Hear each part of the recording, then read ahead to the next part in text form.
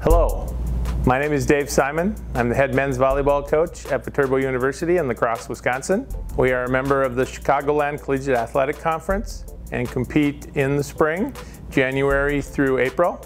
We shot up uh, last year in our win percentage and we are shooting for being uh, in the conference tournament, the CCAC tournament. The conference is growing uh, so it's a great opportunity to experience some great volleyball along with getting a great education. We're very proud that just in our second year of existence, we had both a first team and a second team all-conference athlete last year. We also had the uh, co-libero of the year for the conference and three athletes who were academic all-conference.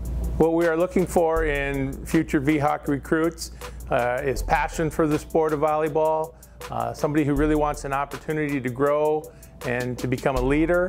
Uh, we have plenty of opportunity for that. We are a small squad size right now, uh, which allows us to have a very uh, tight bond. And we have coaching staff that will definitely help you along the way. Our assistant coach is a sports psychologist as well.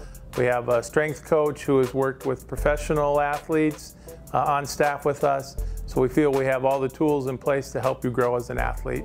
Viterbo Men's Volleyball is certainly a program on the rise. We would love for you to explore becoming a member of our program.